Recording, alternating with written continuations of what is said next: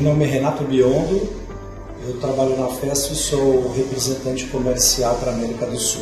A Festo, como vocês sabem, é uma empresa alemã, de origem alemã, 97 anos no mercado, nós trabalhamos na área de automação, automação elétrica, pneumática e de processos. Nós temos com a Mazipac um relacionamento já duradouro, a longo prazo, aí, cerca dos 35 anos da existência da empresa, e nós estamos trazendo para essa feira, para essa exibição, nossos sistemas eletrônicos, onde nós temos o fornecimento tanto de drives, PLCs, motores e toda a gama pneumática que a Festo hoje é líder em tecnologia no mercado. É com muito prazer que eu falo sobre a Mazipac, primeiro uma empresa pioneira no mercado, uma empresa que trabalha a questão de qualidade eficiência, sempre buscando inovação, trazendo novos conceitos, novas tecnologias.